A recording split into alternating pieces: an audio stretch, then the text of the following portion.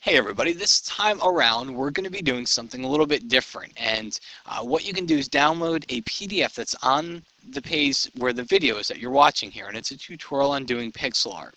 I've had this tutorial for a while and I started thinking, you know, it'd be very cool to show for NAPP. I see a lot of questions on it and it's just a very uh, striking type of illustration style. Now, you don't start out creating this. You start out creating some simple objects and the first part of this PDF tutorial, you'll see how to create some very basic shapes and just the framework behind pixel art.